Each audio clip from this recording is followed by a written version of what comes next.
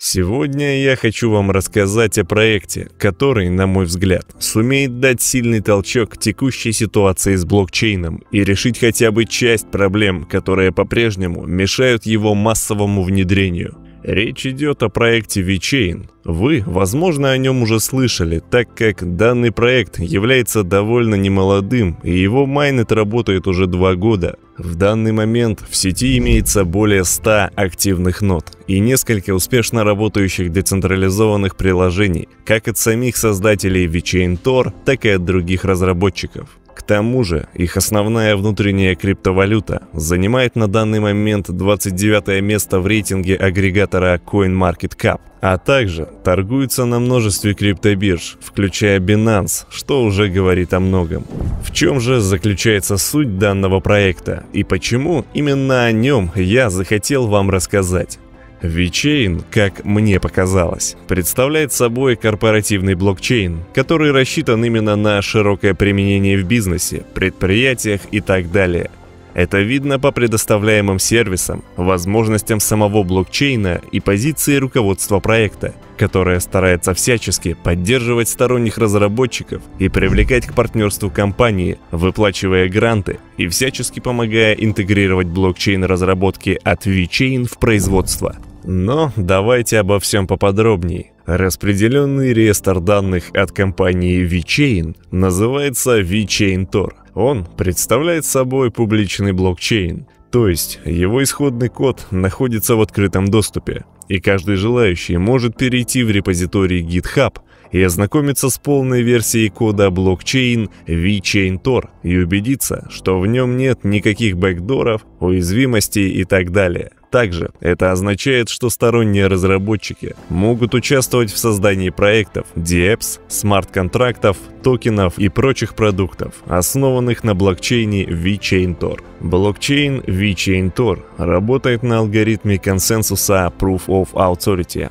или сокращенно POA. Суть данного алгоритма заключается в том, что валидатор сети, помимо внесения определенных средств на своего рода стейкинг, должен также доказать руководству и сообществу свою авторитетность. То есть, подать заявку на становление валидатором может каждый, но, чтобы вас одобрили, вам необходимо будет пройти ряд проверок. Как минимум, пройти полную процедуру KYC, продемонстрировав запущенную вами на тестовом стенде ноду VeChain Tor, представить данные о своем оборудовании, на котором вы хотите запускать ноду и так далее.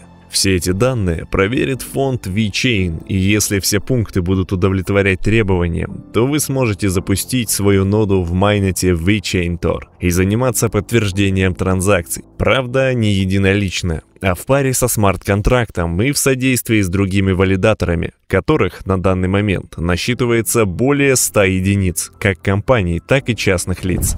Еще одной особенностью блокчейна VeChain Tor, которую я хотел бы выделить, является то, что у него имеется более широкий функционал относительно настройки транзакций, что позволяет блокчейну VeChain Tor предоставлять больше возможностей для бизнеса. В системе VeChain это называется метатранзакции. Они позволяют отправлять не просто обычные переводы монет с одного кошелька на другой, или отправлять команду на смарт-контракт, а настраивать время транзакции, за которое она должна быть подтверждена или будет удалена. Делегировать оплату транзакции, то есть, чтобы вместо отправителя платил получатель и так далее. Выполнять многозадачные транзакции, группируя платежи или указывая сразу несколько получателей. Отправлять зависимые транзакции, которые не будут исполнены, пока не будет подтверждена другая транзакция, от которой у нее указана зависимость. Такой подход позволяет различным предприятиям более гибко настраивать работу DApp, работающих на блокчейне VeChain Tor корректируя их под свои нужды. Экосистема VeChain является довольно необычной и уникальной в том плане, что в отличие от многих других блокчейн-систем,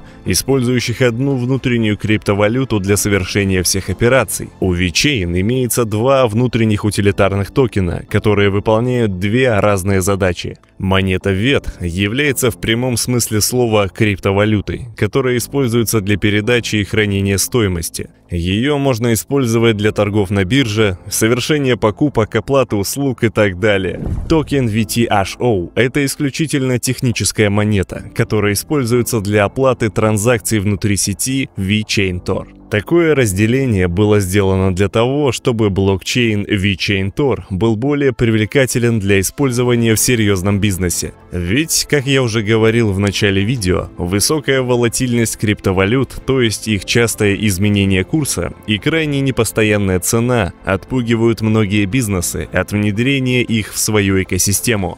И экосистема VeChain с использованием двух утилитарных монет как раз таки позволяет избегать постоянно меняющейся стоимости обслуживания сети. Ведь токеномика устроена таким образом, что пользователи могут сами генерировать токен VTHO, просто храня определенное время на своем балансе токены VET а затем использовать полученные VTHO токены для оплаты комиссии сети VeChain Thor. Таким образом, для большинства пользователей, которые используют блокчейн в разумных масштабах, его использование может быть совершенно бесплатным, ведь токены для оплаты комиссии генерируются на их кошельках.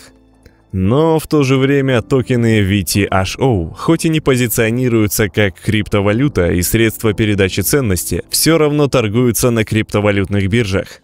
Это сделано для того, чтобы обеспечить крупным участникам сети возможность использовать большие объемы токенов VTHO и, соответственно, совершать тяжеловесные операции в сети VChain Tor. Это может быть актуально, например, для бизнесов, которые только запускают свое приложение в сети VeChain, и им для этого запуска и тестирования нужно много токенов VTHO. Тогда они смогут запросто купить их на нескольких криптобиржах у других пользователей, условных холдеров – которые хранят у себя монеты VET, редко совершают операции с блокчейном VeChain Tor и, как следствие, имеют на своих балансах избыточное количество токенов VTHO.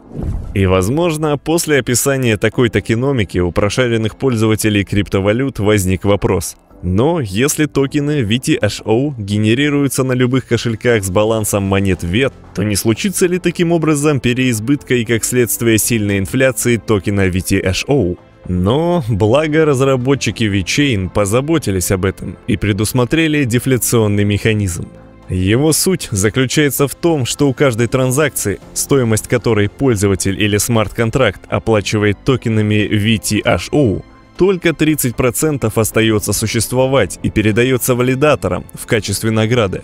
Остальные же 70% сжигаются – как раз для того, чтобы уменьшить циркуляцию токенов и не допустить их переизбытка. Угрозе двойной траты это также никак не способствует, потому что для становления валидатором нужно предоставить 25 миллионов монет VET, а не токенов VTHO. Если же говорить непосредственно об экономической составляющей монет VeChain, то ситуация обстоит так – на данный момент из общей эмиссии 86 с лишним миллионов монет ВЕТ в циркуляции находится 55,5 миллионов монет. Монета торгуется на многих криптовалютных биржах, в том числе таких гигантах, как Binance, Huobi, KuCoin, BitHam, LaToken и многих других. Объем торгов же на момент записи данного видео составляет около 200 миллионов долларов, а цена составляет примерно 0,8 цента. Токен VTHO, как я уже и говорил раньше, тоже торгуется на биржах.